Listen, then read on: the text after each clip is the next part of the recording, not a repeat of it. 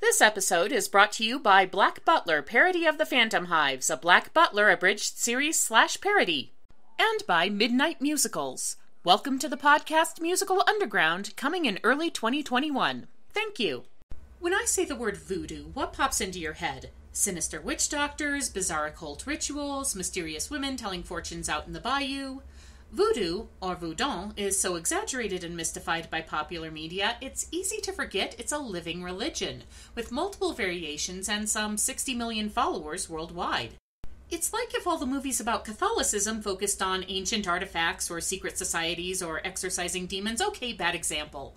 Point is, there's a lot more to it than sticking pins in dolls which is why it's a little disappointing that probably the only musical to feature voodoo in its setting kind of files the serial numbers off and presents it as sort of an indigenous nature worship. So let's talk about the story behind Once on This Island, the 1985 novel My Love, My Love, or The Peasant Girl by Rosa Guy. Although not widely known in mainstream culture, Guy was quite the mover and shaker in late 20th century black American literature. She was a co founder of the Harlem Writers Guild, whose membership has included the likes of Ruby Dee, Ossie Davis, Sidney Poitier, and Maya Angelou. She was also a member of the more politically motivated group On Guard for Freedom, whose activities included supporting African liberation and protesting the Bay of Pigs invasion. Guy's work often focuses on coming of age, racism, and the need for people to care for one another, and these themes carry through in My Love, My Love, even though the story itself, with its magical realism and roots in Hans Christian Andersen's The Little Mermaid, is a bit of an outlier among her more realistic works. Oh, and we'll come back to the Little Mermaid connection later. So here's how it originally went down.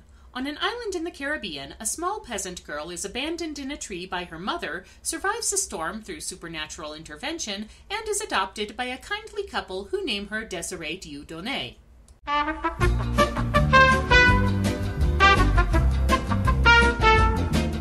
Years later, the now 16 year old Desiree is bathing in a stream when she hears a loud crash and discovers a wrecked car with a handsome and gravely injured young man at the wheel.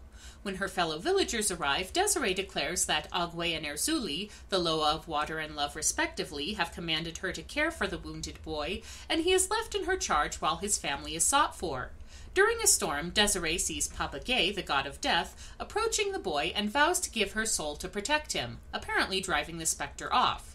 Shortly after, men from the city arrive, identify the boy as Daniel Beauxhomme, and return him to his family estate turned luxury resort. Desiree is now deeply in love with Daniel and convinced he will die without her care, and after an intense Vaudoune ceremony where Erzulie and Agwe argue about humanity's failure to care for the land and each other, she runs away and makes an arduous journey across the land to the Hotel Beauxhomme. She is successful at sneaking onto the premises, contacting Daniel, and forging a relationship with him, but he ultimately chooses to go ahead with his arranged marriage to Andrea Gallimard, a woman of his class, while planning to keep Desiree as his mistress. The despairing Desiree has a vision of the gods telling her to kill Daniel for his faithlessness, but she cannot bring herself to do it and is thrown out of the hotel. Two weeks later, Daniel and Andrea marry. Desiree's last hopes are dashed as Daniel fails to recognize her in her disheveled state, and she is trampled to death when police violently disperse the crowd to clear the way for the newlyweds' car.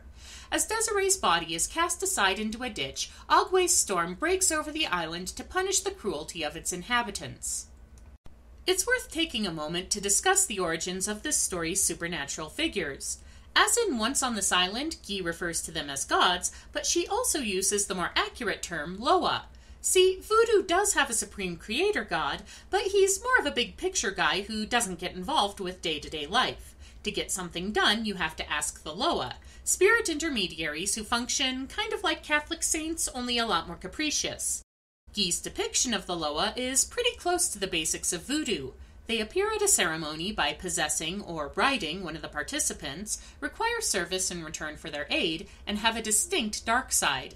A major difference from the musical is how prominently each Loa figures. The musical sets up the story as a conflict between Erzuli and Papa Ge, but in the novel it is Agwe who contends with Erzuli, with Papa Ge figuring more as a bad omen and Asaka only mentioned by name. And given the recurring themes and imagery of Guy's novel, this makes a lot of sense. The need for humans to care for one another and their world, and the tragedy that results when we do not, is one of the overarching messages of My Love, My Love. Environmental devastation lurks at the backdrop of the story, with the island suffering from the effects of deforestation and droughts alternating with violent storms.